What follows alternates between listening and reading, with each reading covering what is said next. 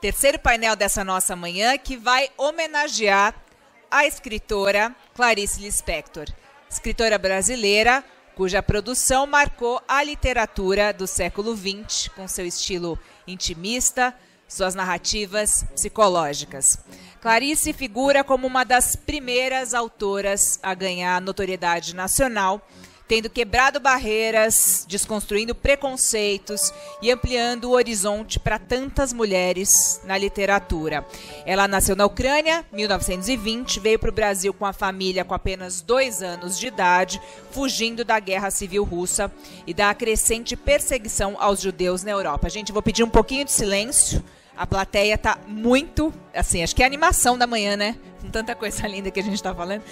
E termino contando para vocês que a Clarice atuou como jornalista e exerceu funções diplomáticas, faleceu em 1977 no Rio de Janeiro, aos 57 anos.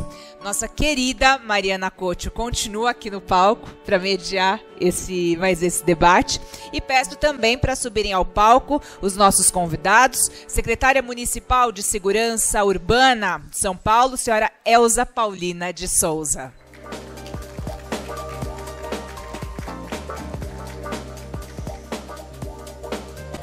A promotora de justiça, doutora Juliana Mendonça Gentil Tocunduva.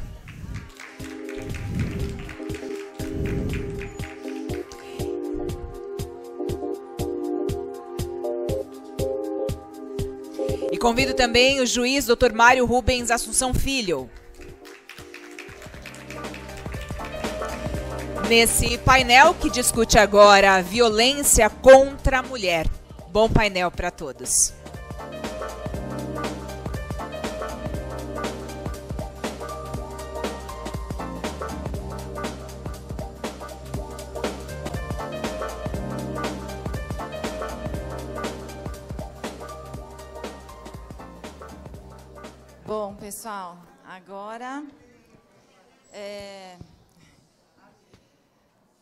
A gente vai conversar aqui sobre esse assunto tão sério que é a violência contra a mulher. Para quem não sabe, nós estamos nos 21 dias de ativismo. Essa é uma ação internacional, 21 dias de ativismo é, pelo fim da violência contra a mulher. Então, tem, tem tido uma programação intensa sobre esse assunto, mas eu sempre reitero que a gente tem que falar sobre isso o ano inteiro. Né? Não precisa esperar uma data específica, é, precisa ter ações. E essas pessoas que estão aqui têm um histórico maravilhoso nessa luta contra a violência é, contra a mulher e contra a violência doméstica, que ainda é considerada uma epidemia aqui é, no nosso país. Queria só dividir uma questão pessoal com vocês, que eu me identifico muito com todas essas histórias, porque sou neta de refugiados de guerra, meus avós, minha avó alemã, meu avô romeno, descendente de russos, eles chegaram no Brasil em 48. E então a, a história da nossa família aqui no Brasil começou em 48 e essa minha luta é, né, pelas vítimas da violência doméstica, eu já trabalho com isso há mais de 20 anos. Quando eu conheci a Maria da Penha no Ceará, eu morei no Ceará como repórter da Globo, e a Penha não era nem nome de lei ainda. Então, para vocês saberem que não é de hoje, mas que bom que hoje a gente fala sobre isso, porque antes a gente não falava. Era uma questão que ficava só é, nas páginas policiais, tratada como briga de marido e mulher. E não, tem nome. É violência doméstica, é feminicídio, não é briga de marido e mulher. Para quem chegou agora ou está começando a acompanhar a gente agora, eu sou Mariana Couto, jornalista, eu tenho Papo de Mãe e sou comentarista do Bem-Estar na TV Globo. É, esse debate aqui, é, quero também dizer para vocês e agradecer mais uma vez ao Grupo de Empoderamento e Liderança Feminina da Federação Israelita do Estado de São Paulo, e parabenizo pelo importante trabalho que tem feito. Eu já entrevistei a Miriam sobre esse assunto. Para quem quiser assistir, essa entrevista está no YouTube da ONG Camila e Luiz Taliberti, que é uma ONG que foi criada pela Helena Taliberti, mãe da Camila e do Luiz, que morreram na tragédia de Brumadinho. E a Camila, eu quero fazer uma homenagem aqui a ela, ela era advogada e trabalhava como voluntária para defender vítimas de violência doméstica, por isso a Helena fez esse especial no, no YouTube da ONG para tratar do assunto da violência doméstica, e lá eu entrevistei é, a Miriam. Né? Bom, entre as ações é, do grupo está né, tá o programa de acolhimento às mulheres e famílias vítimas de violência na comunidade judaica, então, a Miriam contou todos esses detalhes lá nessa entrevista.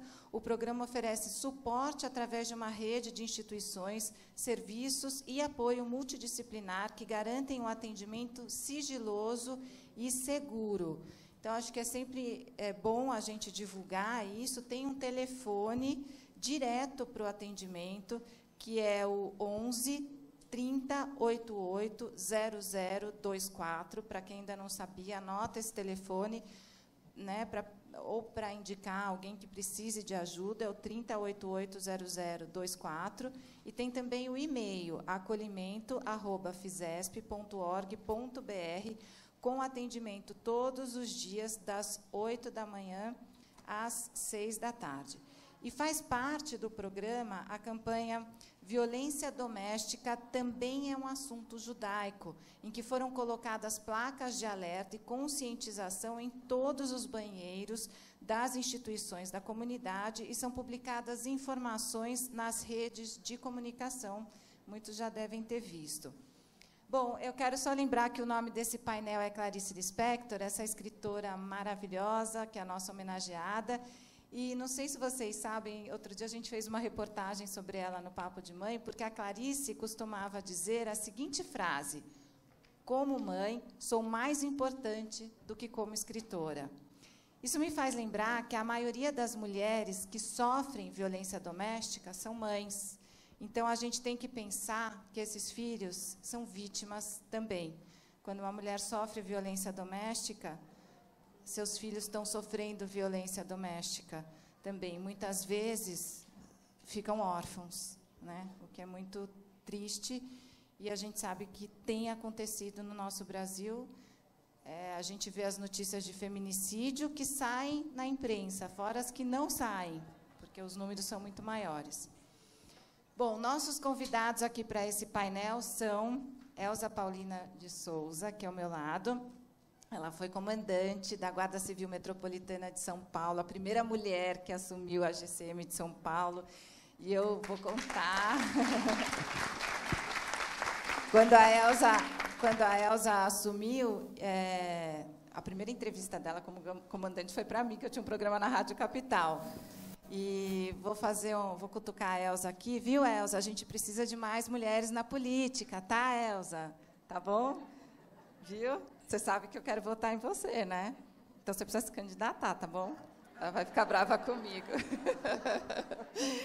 Ó, também está aqui. Ah, bom, a Elza foi comandante, mas hoje ela é secretária de Segurança Urbana do município de São Paulo. E a Elza vai contar aqui para a gente, porque ela que é, criou todo o projeto da Guarda Civil de, da, do programa Guardiã Maria da Penha, que faz um importante serviço para fazer com que as medidas protetivas das mulheres vítimas sejam cumpridas. E a Elsa tem vários programas agora como secretária também aí nessa luta contra a violência doméstica.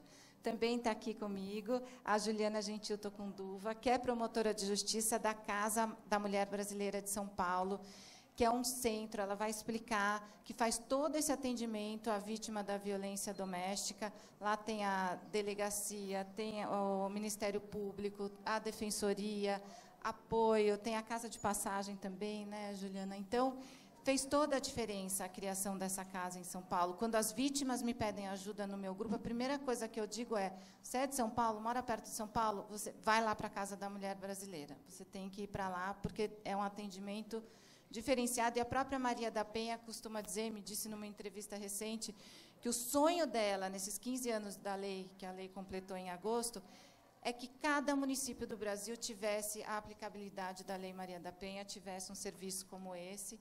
É, quem sabe né, a gente ainda atinja isso. E também está aqui com a gente o Mário Rubens Assunção, juiz titular da Vara da Violência Doméstica e Familiar contra a Mulher. Bom, eu já entrevistei os três em diferentes momentos da minha vida e eu sempre me emociono quando eu estou com essas pessoas, porque o trabalho deles faz toda a diferença. É, então, primeiro eu vou passar uma rodada com cada um de vocês para que vocês falem da sua atuação hoje nos cargos que vocês exercem e também como que é fundamental que toda a sociedade volte os olhos para essa questão da violência contra a mulher. Quero começar por você, Elza, por favor. Bom, bom dia a todas e a todos.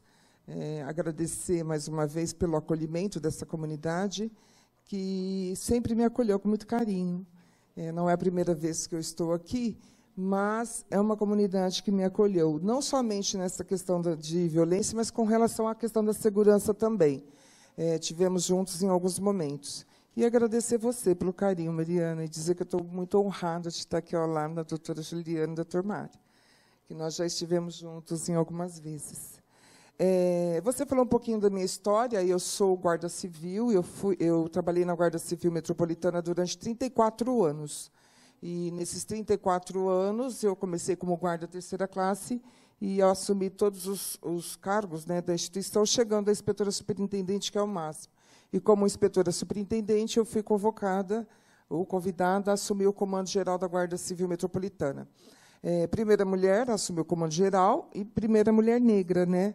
é, nunca tinha tido na história. Então, por aí, quando eu, antes, um pouco antes de eu assumir o comando, que foi quando a gente se conheceu, eu assumi o programa Guardia Maria da Penha, que era um programa que ele foi instituído em 2014, em 2016 para 2017 eu assumi, com algumas prerrogativas para que esse programa pudesse, de fato, é, sair né, daquele, daquele projeto é, piloto do centro e, de fato, alcançasse todo o município é, paulista, paulistano, na verdade, né, aqui de São Paulo.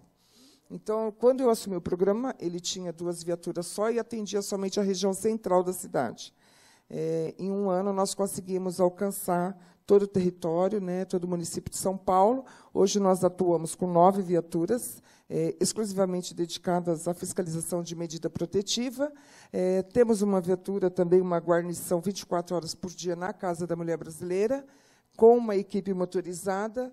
Também prestamos apoio em três delegacias de defesa da mulher no período noturno, com três viaturas, e também no policiamento, é, segurança, na verdade, nas casas, abrigos, nos abrigos sigilosos. É, dizer que quando eu assumi o programa, e isso é um testemunho até por conta daquilo que o, o doutor Léo falou aqui antes, quando eu assumi o programa, eu confesso a você que eu não queria assumir, é, trabalhar com violência doméstica, não queria, não era o meu desejo. E, a partir dali, né, na instituição, você não escolhe, você, né, ordem, missão dada, missão cumprida. E eu comecei a ver que o processo é muito pior do que a gente imagina. E aí eu tive que passar por um processo de desconstrução pessoal. Eu só, eu só eu percebi que eu só ia conseguir dar efetividade no programa a partir do momento que eu desconstruísse todos os preconceitos que eu tinha em mim, como uma mulher negra, mas uma mulher racista, como uma mulher homofóbica, como uma mulher preconceituosa, como uma mulher machista. Então eu percebi que eu tinha que fazer essa desconstrução a partir de mim para que o programa pudesse, de fato, ter efetividade, porque não era possível continuar falando se eu não acreditasse naquilo que eu estava falando. Então, hoje, graças a Deus, e eu digo graças a Deus e graças ao trabalho das equipes, que nós somos referência aqui na cidade de São Paulo, é, por conta não só da fiscalização da medida protetiva, mas por conta de um acolhimento humanizado, de uma escutativa, que nossas equipes são capacitadas, treinadas é, sempre é, para isso. Né? Então, eu posso dizer que a gente não consegue atender todo o município. Não consegue, lamentavelmente, Mariana. Mas dizer que a gente é responsável. Eu, enquanto cidadã, também sou responsável. Então, se eu não partir desse princípio de exercitar minha cidadania para conquistar, inclusive, o direito. Eu estava lendo essa semana, né, no, que eu estou fazendo mestrado, e no mestrado diz isso, que a gente não consegue garantia dos direitos fundamentais e individuais se a gente não exercitar a nossa cidadania. É. E a gente não exercita a nossa cidadania se a gente não tiver conhecimento, consciência e educação. Muito bem, parabéns pelo trabalho. A, a Elsa falou em acolhimento. Essa palavra é muito forte. Eu, como jornalista, é, gosto muito de, de destacar algumas palavras. Acolhimento. Nós, enquanto cidadãos, cada um pode pensar nisso, acolhimento. Como eu posso acolher uma mulher que eu sei que é vítima de violência doméstica? Juliana, fala do seu trabalho. Bom, bom dia a todas e a todos. Em primeiro lugar, eu queria agradecer muito o convite para estar aqui hoje. Né? É uma honra muito grande poder falar do meu trabalho, poder falar da Casa da Mulher Brasileira e de ações que ajudam né, no combate à violência doméstica e familiar e que possibilitem que a vítima construa uma nova vida longe da violência. Né? Eu sou promotora de justiça há 22 anos, atuei bastante tempo no júri, aliás, sou titular de uma promotoria de júri, atuei bastante tempo com o doutor Mário, né, em Carapicuíba, e hoje eu sou titular de uma promotoria aqui, mas assumi a promotoria de justiça da Casa da Mulher Brasileira. Para aqueles que não conhecem, a Casa da Mulher Brasileira é um grande equipamento público que concentra num único espaço diversos serviços voltados para o atendimento da mulher que sofre violência. Tá? não só violência doméstica e familiar. Mas o sistema de justiça que tem na Casa da Mulher Brasileira só pode atuar nas medidas protetivas de urgência, ou seja, com as violências domésticas e familiares. É, esse grande centro, que é a Casa da Mulher Brasileira, funciona 24 horas por dia, sete dias na semana, tem competência nacional, atende mulheres brasileiras e estrangeiras, tá bem? e concentra ali a primeira delegacia de defesa da mulher, um espaço de atendimento psicossocial, a Defensoria Pública, Tribunal de Justiça, Ministério Público, Guarda Civil Metropolitana, com o programa Guardiã Maria da Penha, que, aliás, é fundamental para a efetivação do trabalho que todos nós lá uh, fazemos, realizamos. É, tem ainda uma casa de passagem para acolhimento daquelas mulheres que saem de suas casas, que saem da violência e não têm um lugar seguro para ir. Né? Existe também um trabalho de deslocamento dessas vítimas, então, vítimas que não têm eh, condições nem financeiras de procurar uma assistência médica, de procurar um outro serviço, um outro equipamento público, ou que não têm como voltar para o local onde ela vai dormir quando não vai ficar no abrigo na casa de passagem ali existente. Então, como vocês podem ver, é um centro que congrega diversos, diversos serviços, Todos nós atuamos de maneira centrada na vítima, né, de maneira bastante acolhedora e fazendo tudo o que for possível para que essa mulher consiga dar o primeiro passo para sair de uma vida de violência. E convido quem quiser conhecer esse grande centro para conversar comigo e a gente agenda uhum. uma visita. Eu já conversei com o pessoal do, do programa, desse projeto uhum. daqui, e, e mostrei e falei para eles da casa e me coloquei à disposição para acolher aquelas mulheres que uhum. precisam de atendimento. É. Gente, eu, eu conheço lá, é um atendimento de excelência e imagina, quando a gente fala em acolhimento, uma mulher que é vítima de violência doméstica, ser atendida pela doutora Juliana, que é mais acolhimento do que uma mulher dessa, com esse sorriso, é, faz toda a diferença, sim. E, e, tem um atendimento por WhatsApp também, não é? é? A Promotoria de Justiça disponibilizou um atendimento por WhatsApp e eu preciso me penitenciar porque eu não sei decorar o número. Eu sempre tenho que pegar minha anotação. E funciona das 13 às 19. Eu confesso que a gente dá uma olhadinha, né, para ver se tem alguma coisa muito emergencial fora do horário, porque fora do horário a gente não consegue ajudar muito, né? Uhum. E, mas assim funciona direto podem procurar. Procure a promotoria de justiça, a gente providencia os encaminhamentos, todo equipamento funciona de maneira integrada. Então, assim, sintam-se né, aqueles que precisarem de atendimento e todos vocês agora que conhecem esse atendimento prestado pela casa, que informem as vítimas, né, para que informem aquelas mulheres que precisam de ajuda, que precisam de acolhimento, que nos, nos procure. Né? Vão até lá, ou entre em contato por WhatsApp ou por telefone, a gente vai estar sempre à disposição. Eu vou dar uma dica: se vocês digitarem Papo de Mãe, WhatsApp Casa da Mulher Brasileira, tem uma matéria enorme lá no site do Papo de Mãe. Eu já faço propaganda própria, né? papodemãe.ol.com.br. Lá tem o telefone, tem o endereço, tem entrevista com a Juliana, tem tudo. Então, está feito o serviço. Doutor Mário, por favor, fala do, do seu trabalho. É, bom dia a todos e a todas.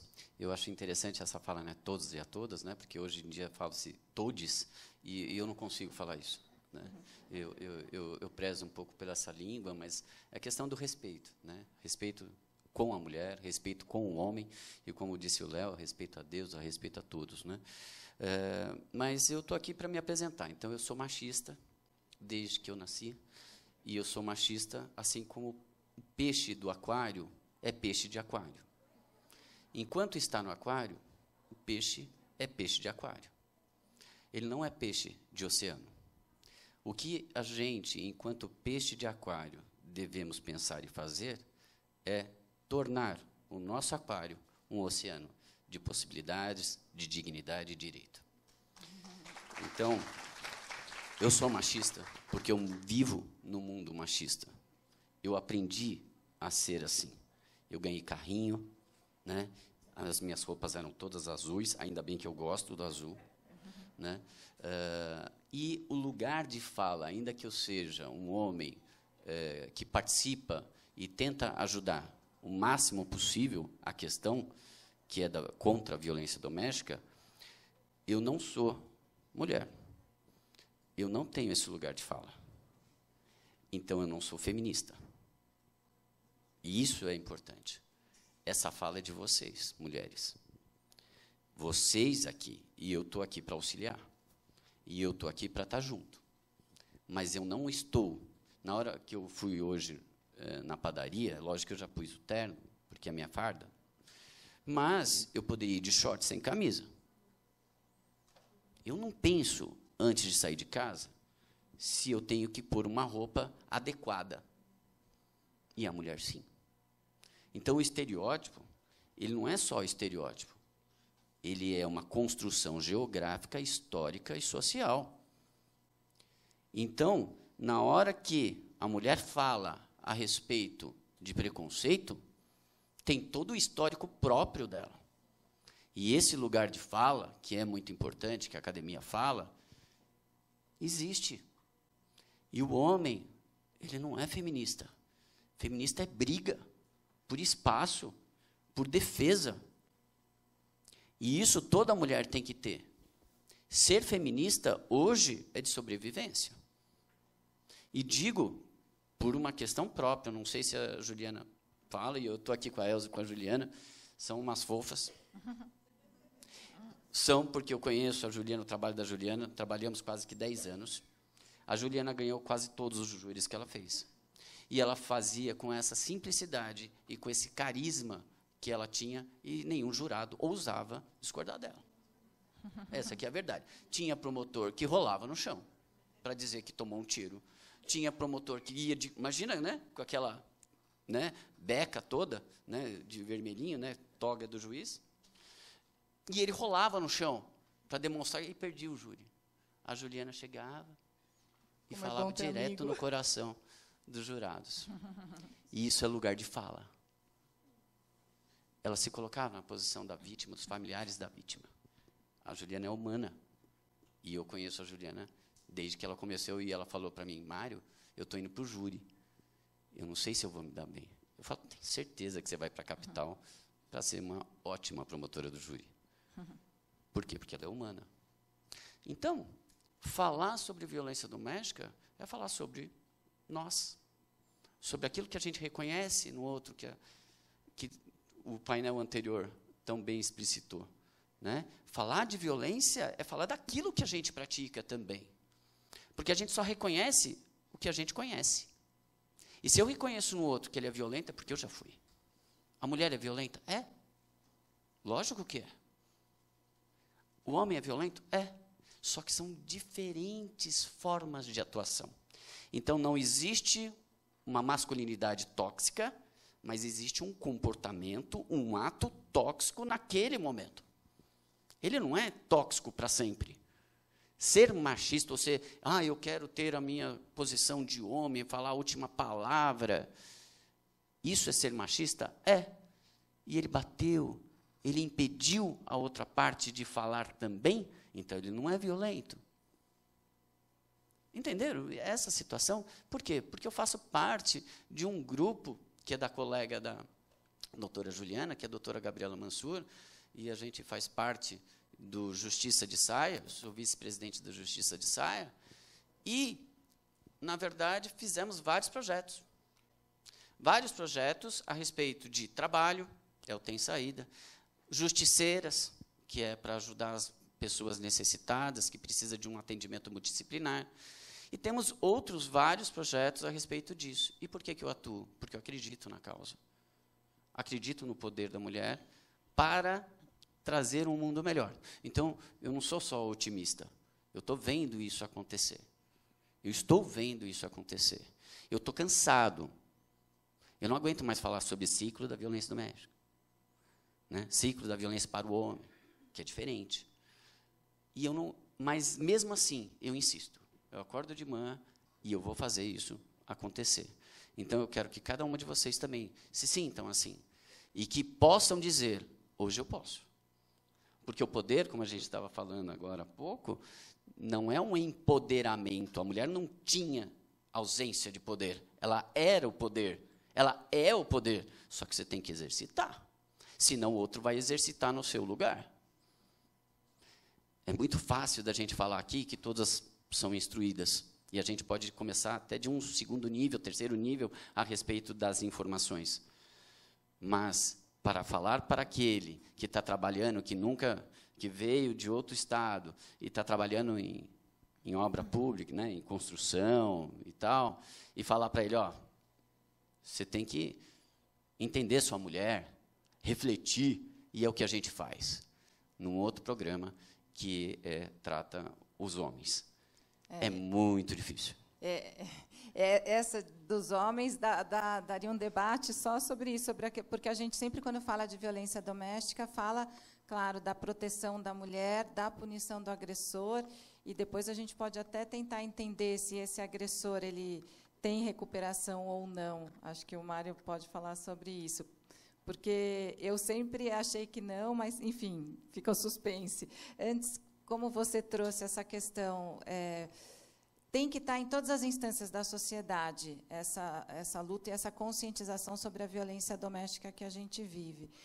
Elza, é, na sua opinião, como que a sociedade pode contribuir? Qual a importância, por exemplo, de alguém denunciar quando houve uma mulher gritando por socorro no meio da noite no prédio? É a história que a gente fala que tem que meter a colher. A importância, Mariana, é que você pode estar salvando uma vida. Eu vi essa semana uma grande repercussão, uma criança de oito anos, que na prova, no rodapé da prova, ele coloca é, sou, minha, mãe minha mãe apanha do meu pai todos os dias, chama a polícia. Um aluno, ele tem mais dois irmãos, um de 12 e 13, alguma coisa assim. Então, a gente percebe que, dentro desse processo, uma criança de oito anos ela conseguiu quebrar o ciclo, dar o primeiro passo para a quebra desse ciclo. E poderia ser uma vizinha, poderia ser uma, um parente, não importa. É, a gente precisa parar de achar que a gente não é responsável também. Nós somos responsáveis. Aliás, a omissão, né, é o maior, é um dos maiores pecados. Se omitir diante de uma realidade, diante de uma agressão, a gente precisa sim meter a colher e a gente precisa construir em nós esta, esta desconstruir, na verdade, uma construção de que briga de marido e mulher não se mete a colher, para construir uma outra realidade de que sim, nós metemos a colher, nós também somos responsáveis, e é, porque a sociedade ela reflete aquilo que a própria sociedade também pensa e emite. Se eu, enquanto cidadã, não começo a quebrar a partir de mim esses paradigmas de que eu sou uma mulher preconceituosa, mas que eu preciso trabalhar esse preconceito, é, qual, qual é o impacto desse preconceito e o que eu faço para mudar ele? Não que eu vou amanhã é, levantar uma santa, mas muito pelo contrário. Mas uma mulher que tem consciência das suas limitações. E, e isso é o que a gente precisa é, fazer e despertar. E aí, o, o, a, o painel anterior, ela, eles falaram muito disso, da educação e do papel fundamental que é a educação. Não só na escola, Mariana, aí em todos os setores. É, quando eu assumi o comando da Guarda Civil Metropolitana, eu recebi, um pouco antes, eu havia recebido no meu gabinete uma, uma guarda que ela vive, tinha um histórico de 25 anos de violência. Ela viveu 25 anos de violência. E, naquela semana, ela é, pulou a, janela de casa para fugir do marido e ela ligou para a viatura. Quando ela ligou para a nossa central, a colega falou pra, perguntou para ela assim: o que você fez para ele te bater? Foi uma primeira fala que a instituição, que a instituição que eu percebi. A segunda fala dela, bom, a viatura foi, acompanhou, foi até o distrito policial. A segunda fala dela para mim, no meu gabinete, um pouco antes de eu assumir o comando, foi: inspetora, que bonito, eu nem sabia que a guarda tinha esse programa, a Guardia Maria da Penha. Tão bonito, eu não sabia. Naquela fala dela, eu morri de vergonha, porque ela disse para mim: a senhora está atendendo mulheres na rua e, e a gente aqui dentro da instituição apanha. Então, a gente começou a observar que dentro da instituição eu tinha vítimas e tinha agressores. E agressores, e dizer que o, que o guarda bate mais porque é guarda não é verdade. A gente bate porque a gente é machista. A gente bate porque a gente vem de uma cultura machista. E isso é nosso. Se for levantar em todas as profissões, não tem diferença. A diferença é que na guarda a gente está expondo. A diferença é que na guarda a gente hoje resolveu colocar a mão no, no, no, no, formigueiro. E eu acompanhei esse trabalho que você fez Exatamente. lá, porque a Elza passou a promover debates, discussões e palestras com todos os guardas, né, para justamente mudar essa consciência, esse Sim. comportamento. Sim, porque eu não podia deixar somente uma viatura na rua fazendo acolhimento humanizado e o restante. E essa operadora que atende o telefone e fala para a mulher o que você fez. É para ele te bater. Eu precisava mudar também o conceito dessa operadora e que ela pudesse também proceder um acolhimento, mesmo que por telefone, humanizado, de ouvir essa mulher dizer: Olha, senhora, onde a senhora está? Nós vamos encaminhar a viatura. Se a senhora pudesse abrigar, é. É, vai e manter esse contato com ela, porque isso é importante, Mariana. É. Não, e lembrando que ainda existe muitas vezes uma tendência de culpar a vítima e vitimizar o, o, culpado. E isso precisa, até às vezes na imprensa você vê, quando você vê uma manchete falando mulher é assassinada porque traiu o marido. Parece que ele é a vítima porque foi traído e, e ela é a culpada. Né? Então, são detalhes. De novo, a questão das palavras, que eu gosto de destacar, e daí vem a palavra medo. Quero perguntar para a doutora Juliana, porque muitas mulheres, e as pessoas julgam essas mulheres vítimas, ah, ela apanha, mas ela continua com ele. Mas existe o medo, o medo de morrer, o medo de perder a guarda dos filhos, o medo de ficar sem dinheiro, medo. Medo de denunciar e daí sim ser assassinada e medo da própria sociedade de denunciar uma situação e, e ser perseguida, por, enfim, por aquele agressor. As mulheres precisam ter medo, doutora Juliana, até porque parece, a gente tem, tem dados aí de que a mulher ela vai estar mais protegida se denunciar do que se continuar ali, não é? Precisa ter medo? Como é que é isso? É importante não ter medo, né? É importante procurar ajuda, dar o primeiro passo na busca dessa ajuda, em busca dessa ajuda.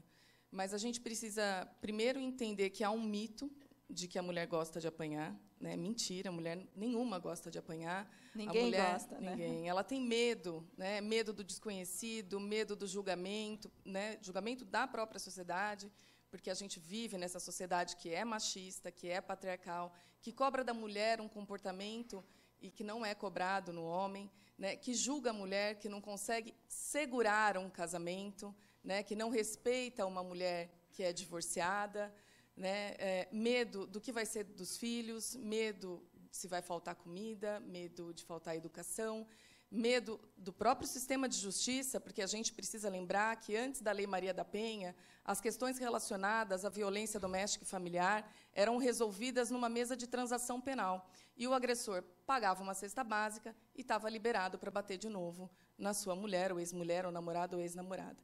Então, assim, a gente precisa lembrar que todos esses medos vão acompanhar a mulher até que ela se sinta segura o suficiente para denunciar, segura o suficiente para buscar ajuda. Né? E a gente precisa também entender que muitas vezes a mulher não quer registrar uma ocorrência. O que ela quer é que a violência pare.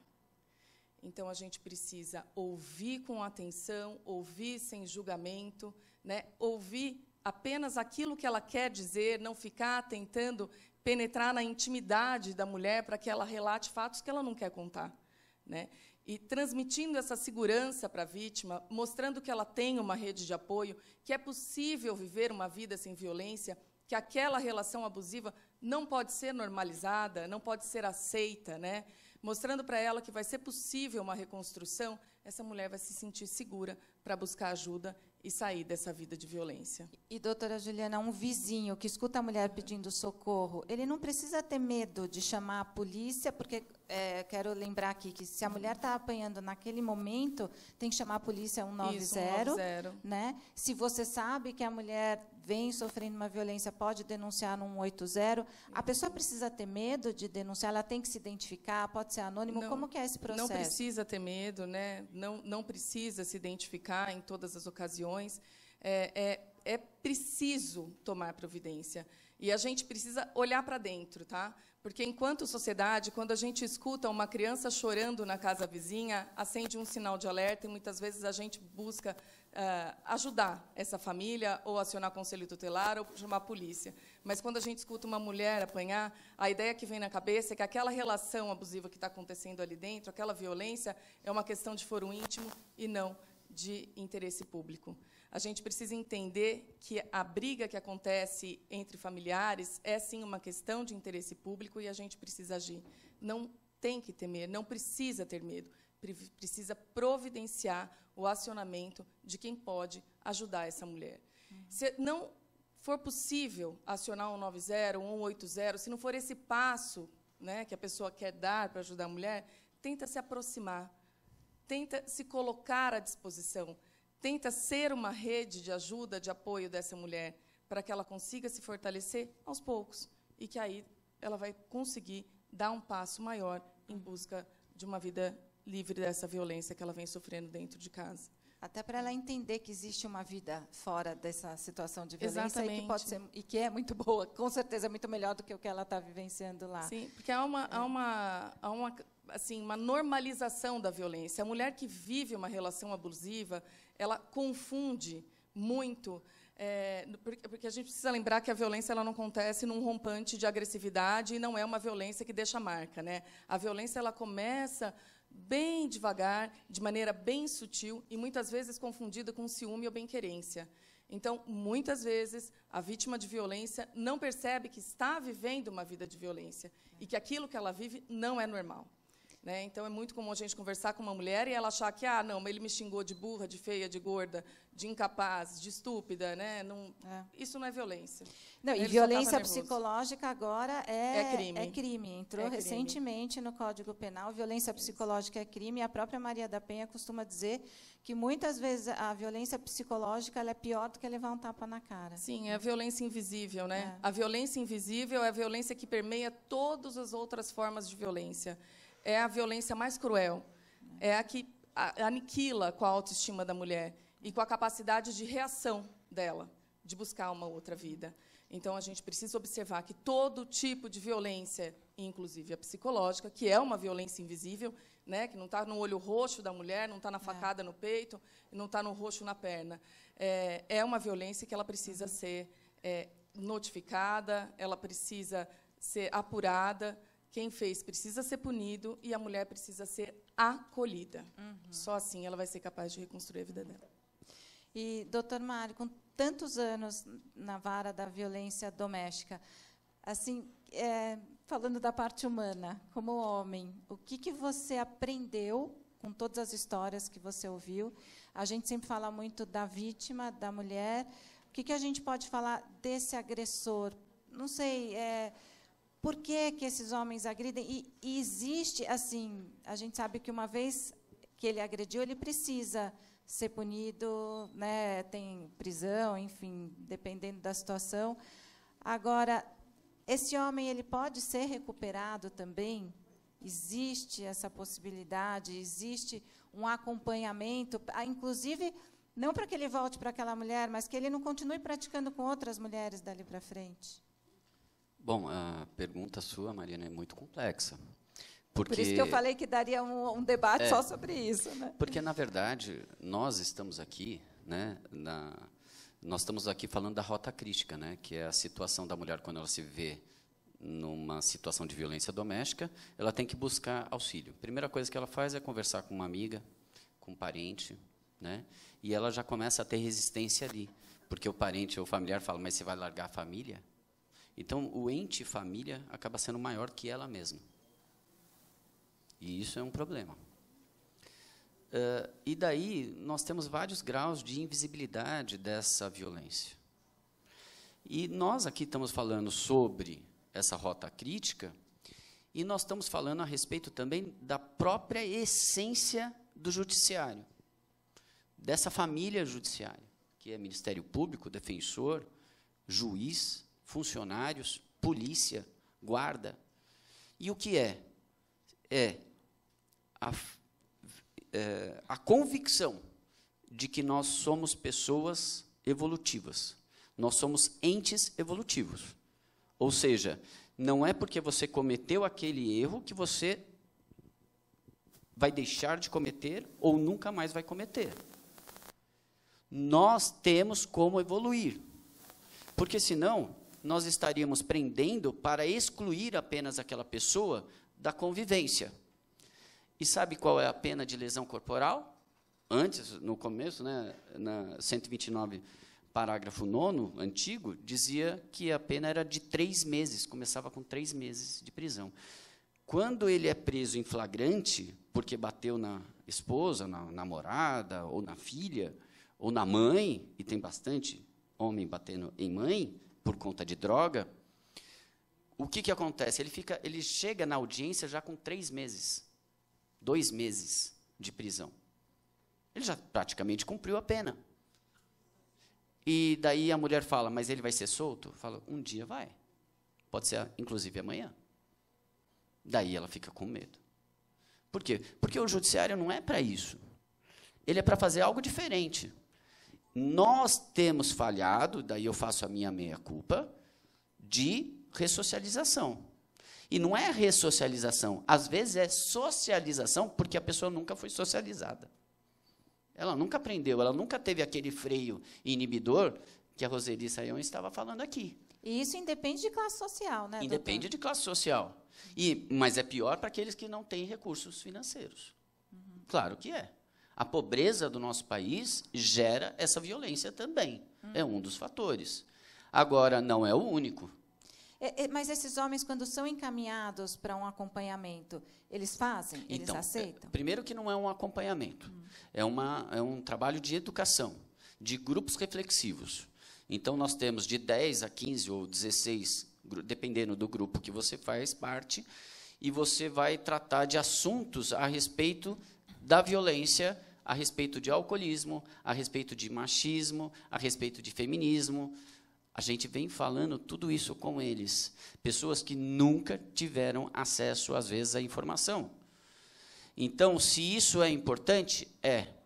Eu vejo ao final dos 10, 15 encontros que há uma pequena mudança, mas há.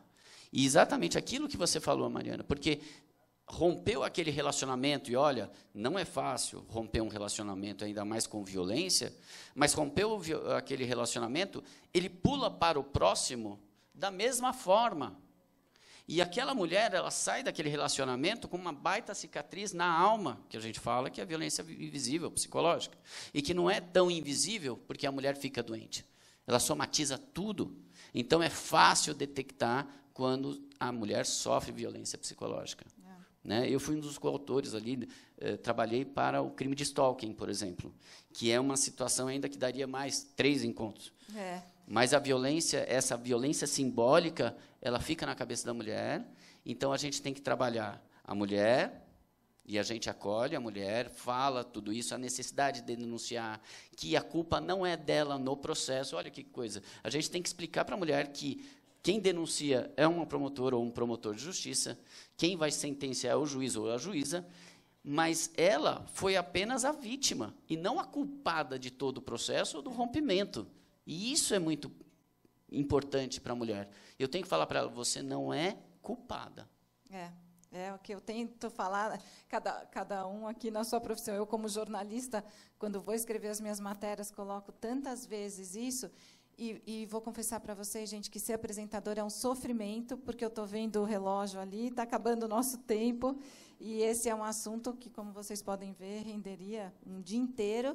Então, vocês também estão vendo o reloginho, eu vou passar uma última rodada rápida para as considerações finais. Elza, começando por você.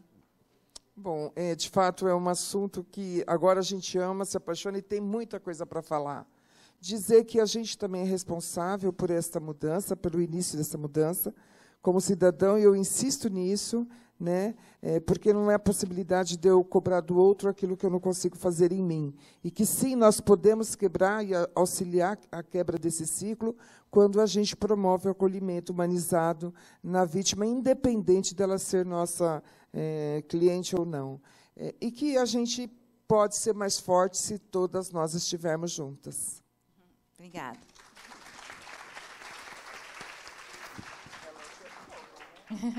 Juliana. Eu é. acho que assim o, o, recado, né, a ideia mais importante que a gente precisa sair daqui desse debate hoje é que a Lei Maria da Penha é a terceira melhor lei do mundo, tá? Ela quebra uma tradição da justiça, da sociedade, né, é, do Estado, em acreditar, em ser benevolente, na verdade, com a violência doméstica e familiar.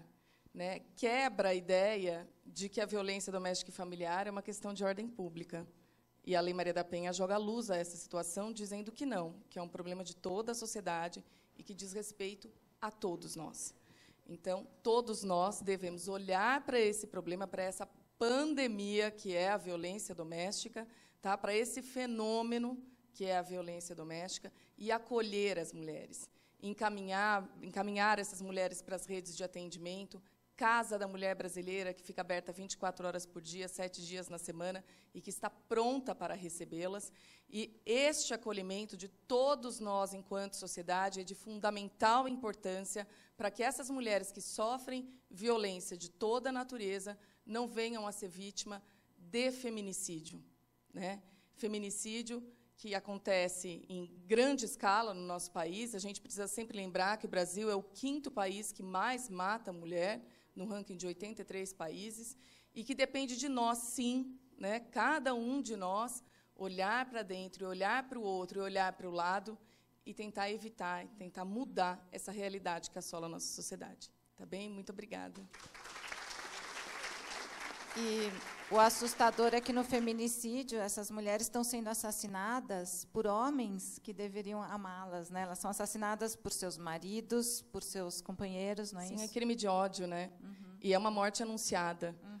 O feminicídio ele não acompanha, ele não acontece num rompante de violência, como não acontecem as violências físicas mais graves, né? Uhum. É, essa, essa violência ela vem anunciando que o fim vai ser trágico. Uhum. E todos nós, né, nós como sistema de justiça, né, o poder público e a sociedade precisa agir para o fim dessa violência. A gente uhum. não pode aceitar que isso continue acontecendo. Exatamente. E fortalecer as mulheres, como o Dr. Mário disse, para que elas tenham a absoluta certeza que elas não são responsáveis e merecedoras da violência que elas vivem e que essa situação de violência não é normal, uhum. né? Que a vida normal é uma vida sem violência.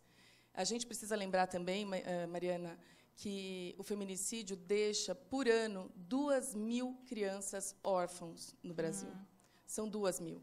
Porque a mãe morre.